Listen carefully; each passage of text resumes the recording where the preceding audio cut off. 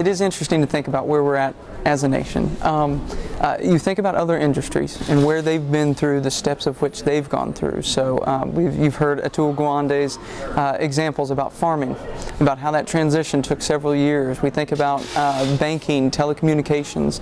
Uh, each one of those transitions took quite a while. Where are we at in healthcare? Um, I think we're definitely, uh, I would even say a, a, little bit past the beginning. Um, uh, we're at the fear stages. So we're trying to adopt, and then suddenly there's this practical uh, balance.